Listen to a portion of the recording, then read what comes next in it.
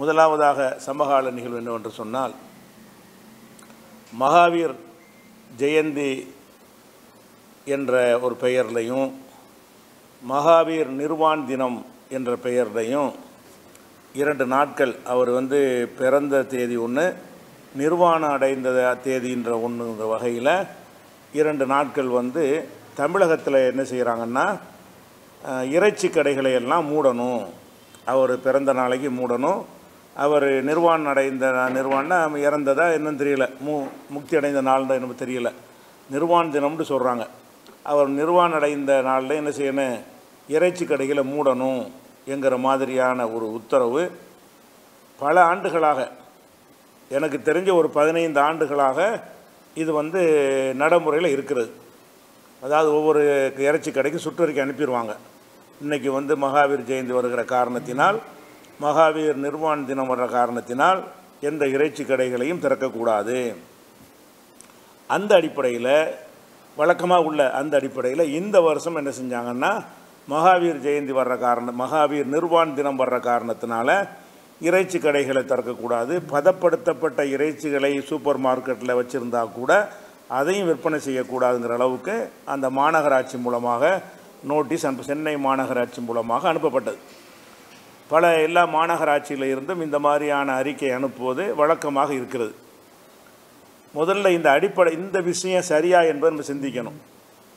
நம்ம நாட்டில் உள்ள அரசியல்வாதிகளுக்கு வந்து அறிவுபூர்வமாக எதையுமே சிந்திக்க தெரியாது.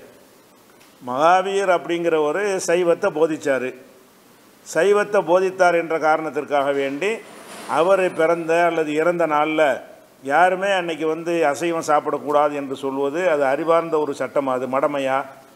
அவர் அதை போதிச்சார்னா அதை விரும்புகிறவங்க அதை கடைப்பிடிப்பாங்க. காலமெல்லாம் கடைப்பிடிப்பாங்க. அதை ஏற்றுக்கொள்ளாதவர்கள் கடைப்பிடிக்க மாட்டாங்க. இதில் அவர் ஒரு விஷயத்தை சொன்னாருங்கிற காரணத்துக்காக வேண்டி நீங்கள் இதை செய்வீர்கள் என்று சொன்னால் எந்த காலத்தில் போடப்பட்ட சட்டமாகவே இருக்கட்டும்.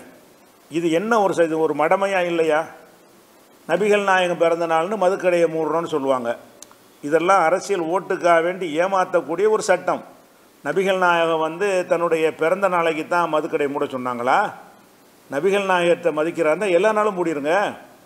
அதான் முறை. நபிகள் நாயகத்தை மதிக்கிறோங்கிற பேரில் அந்த அன்னைக்கு மட்டும் நீங்கள் மதுக்கடையை மூடுறதுனால முத நாள் வாங்கி வச்சு குடிக்க தான் போகிறான் அன்னை குடிக்காமல் இருக்கிறதுனால என்ன ஒரு நன்மை அதில் இருக்கிறது?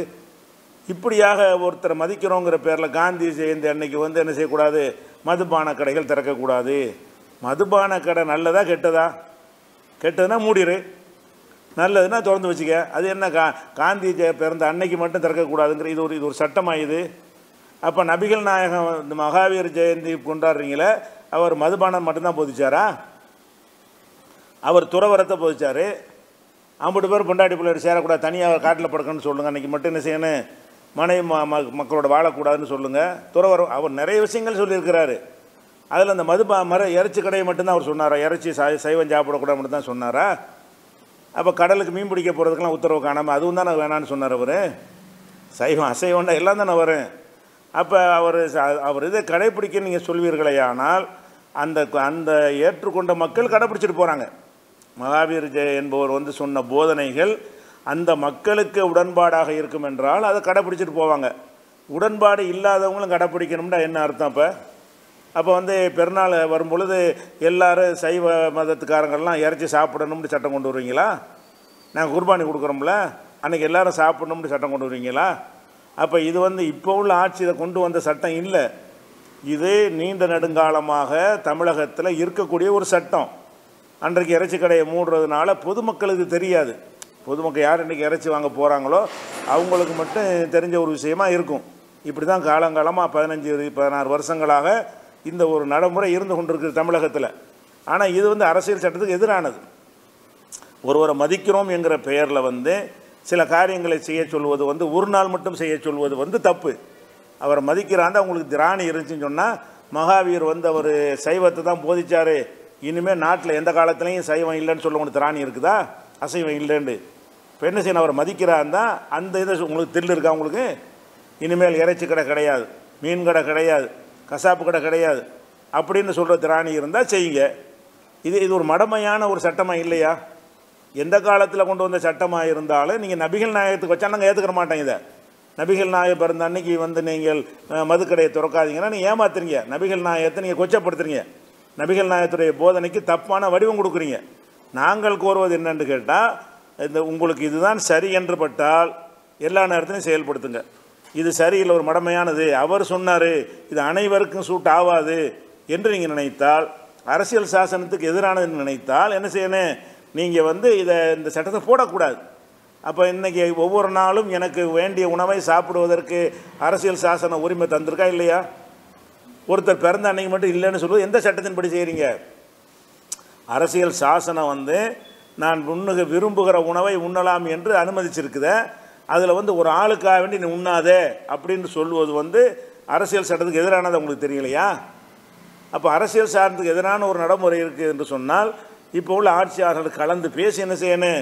இனிமேல் இந்த எந்த ஒரு தலைவருக்காக வேண்டியும் விடுமுறை விடுங்க இல்லை ஊழியர்களுக்கு ரெஸ்ட் கிடைக்குங்கிற வகையில் வேண்டாம் அது போயிட்டு போங்க. அரசு ஊழியருக்கு அன்றைக்கு ஒரு நாள் ஓய்வு கிடைக்கும்.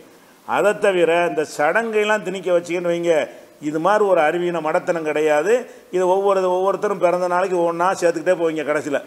முந்நூற்றி அறுபத்தஞ்சு நாளைக்கு முந்நூற்றி அறுபத்தஞ்சு விஷயம் வந்துடும் இப்படி ஆடாகிட்டே போணுச்சுன்னா என்ன ஆகும்?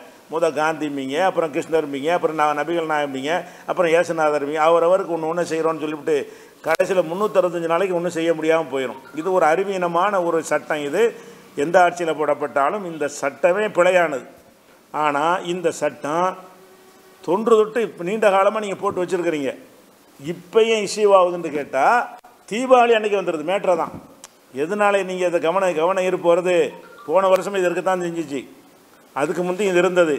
இப்போ எதுக்கு பிரச்சனை வருதுன்னா தீபாவளி அன்னைக்கு இறச்சி சாப்பிடணும்ல பண்டிகை. அன்னைக்குன்னு கறிலாம் சாப்பிட வேண்டிய ஒரு நாளுன்னு வைத்திருக்கிறார்கள். அப்போ இந்த சட்டத்தை போட்ட உடனே தீபாவளிக்கு இறைச்சி சாப்பிடுவதை தடுக்கிறீங்களா என்கிற ஒரு அடிப்படையில் தான் இந்துக்கள் இதை இசுவாக்குறாங்க தீபாவளி அல்லாத நாளாக இது இருக்கும் என்று சொன்னால் இந்த வருஷம் இப்படி கடந்து போயிடும் சென்ற வருஷம் மாதிரி கடந்து போயிடும் அப்போ இதில் வந்து இந்த இந்த அடிப்படையே தப்பு என்பதை முதல்ல என்ன செய்ய ஆட்சியாளர்கள் விளங்க வேண்டும். அதே மாதிரி ஒரு ரெண்டாயிரத்தி பத்து வாக்கில் இதே மகாவீர் ஜெயந்தி அன்னைக்கு ஹஜ்ஜி பெருநாள் வந்தது. இந்த மகாவீர் ஜெயந்தி தினத்தில் முஸ்லீம்களுடைய பண்டிகை ஹஜ்ஜி பெருநாள் வந்தது. அப்போ என்ன பண்ணாங்க? இதே உத்தரவு போட்டாங்க. நீங்கள் வீடுகளில் குர்பானி கொடுத்துக்கலாமே தவிர நீங்கள் வந்து கசாப்பு கடை அறுக்கக்கூடாது என்று சொன்னாங்க. அதை ஆர்டர் பண்ணி மாநகராட்சியிலேருந்து அறிக்கையை விட்டாங்க. அதை ஏற்றுக்கொள்ள மாட்டோம்னு மீறி நம்மெல்லாம் செஞ்சோம். அது வேறு விஷயம். அப்போ நீங்கள் வந்து இப்போ பெருநாளுக்கு வரும்போது இப்படி அரசாங்கம் முஸ்தீப் எடுக்கலை. தீபாவளின்னு முஸ்தீப் எடுக்கிறாங்க. பெருநாள் வரும்போது இந்த மாதிரி நாங்கள்லாம் கோரிக்கை வைக்கும் பொழுது அதை வாபஸ் வாங்கலை. நீ என்னடா சொல்கிற நாங்கள் அறுக்கத்தான் செய்வோம். கசாப்பு கடைக்காரன் பயந்துருவான். நாங்கள் வந்து அறுக்கத்தான் செய்வோம் என்று என்ன செஞ்சோம் நம்ம? இப்போ ரெண்டாயிரத்து பத்து ஒம்பது நினைக்கிறேன். நினைவு இல்லை. நாமளே அதை வந்து செஞ்சுருக்கிறோம். அப்போ இந்த பிரச்சனை என்னன்னு கேட்டால் பெரும்பான்மை மக்களுடைய பண்டிகை நாளில் வர்றதுனால தான் இது உருசுவாக்கி எடுத்திருக்காங்களே தவிர இதை டோட்டலாகவே எடுக்கலை. நல்லா விளங்கிக்கிறங்க அடுத்த மகாவீர் ஜெயந்தி வந்தாலும் சரி மகாவீர் நிர்வான் வந்தாலும் சரி அன்றைக்கு இந்த அறிக்கை அனுப்புவார்கள். எதனால் இது செய்கிறாங்க பண்டிகை கொண்டாடக்கூடிய இந்துக்களுக்கு அன்றைக்கி தீபாவளி அன்றைக்கி இறைச்சி சாப்பிட முடியாது. அது கிறிஸ்துமஸ் அன்னைக்கு வந்துச்சுன்னா இதை கண்டுக்கிற மாட்டாங்க. இந்த உழவுக்கு எடுக்க மாட்டாங்க. பெருநாள் அன்னைக்கு வந்தால் எடுக்க மாட்டாங்க எடுக்கலை. கடந்த காலத்தில் இதுக்காண்டி பெரிய கத்தி போராட்டம்லாம் பண்ணி கூட அதுக்கு வகையே வைக்கலை. அப்போ அநேகமாக கலைஞராட்சி தான் நினைக்கிறேன். அப்போ இந்த மாதிரியான ஒரு சட்டங்களை வந்து பைத்தியக்காரத்தனமான சட்டங்களை போட்டு வைக்கிற மொத்தத்தில் எடுக்கணும். இப்போ கூட என்ன செய்கிறாங்கன்னா அந்த அதை வந்து சரியான நடவடிக்கை எடுத்துக்கிட்டு தாங்க என்ன செய்கிறாங்க தீவ இறைச்சி கிடைக்க அனுமதி தமிழக அரசுக்கு பாராட்டு. இதை டோட்டலாக எடுத்தால் நீங்கள் பாராட்டணும். தீபாவளி அது மோதுறதுனால இந்த சமுதாயம் அந்த சமுதாயமா? என்பதற்கு இது எடுத்ததே தவிர அடுத்த மகாவீர் ஜெயந்திக்கு இது அறிக்கை வரும். அவங்க அந்த சட்டமே தப்புன்னு சொல்லலை. இன்னும் சொல்ல போனால் ஜெயின் கோவில் அருகில் உள்ள கடைகளை மூட மாட்டோம் மூடக்கூடாது. ஜெயின் கோவிலுக்கு அருகில் இருந்துச்சுன்னு சொன்னால் அந்த கடை என்ன செய்யணும்? மூடி ஆகணும் அப்போ ஜெயின் கோவில்கள் அதாவது அந்த ஜெயினர் மார்வாடிகள் இருக்கிற பகுதிகளில் இப்போவும் தடை தான் அப்போ அவங்க உணர்வை மதித்து இந்த பைத்தியகாரத்தர் சட்டத்தை ஏற்று தான் இருக்கிறாங்க. தீபாவளிக்கு இறச்சி சாப்பிட்றதுக்காகத்தான் இது பண்ணியிருக்கே தவிர இது பாராட்டக்கூடியதோ ஒரு பெரிய விஷயமே இல்லை இது.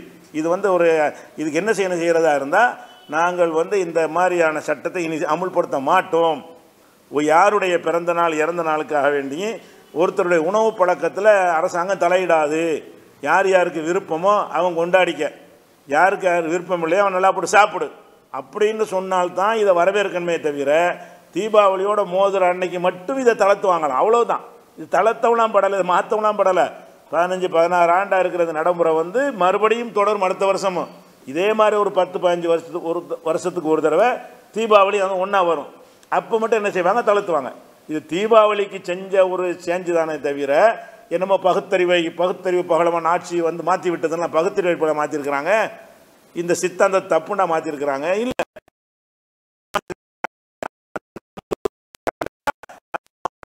பகுதியில் வேறு சமுதாயத்து மக்கள் இருக்க மாட்டாங்களா? அவங்களுக்கு அன்றைக்கி இறச்சி சாப்பிட்றதுக்கு தடுக்க நீங்கள் யார்? அவங்கள மதித்து நாங்கள் எதுக்கு சாப்பிடாம இருக்கணும்? அப்படிங்கிற ஒரு கேள்விகள் இருக்கத்தான் செய்கிறது. இந்த சட்ட வாபஸ் என்பது முதல்வரை வந்து திமுக அரசை பாராட்டுறதுக்கு எந்த ஒரு அம்சமும் இதில் கிடையவே கிடையாது. இதில் வந்து தீபாவளி சந்தோஷம் எல்லாத்துக்கும் கிடைக்காது. இந்து மக்களுடைய அதிகமான மக்களுடைய ஒரு அதிருப்திக்காக வேண்டி இதை வந்து அவங்களே திருப்திப்படுத்தணும். இவங்களை திருப்திப்படுத்துறதுக்காக வேண்டி என்ன செய்வோம்?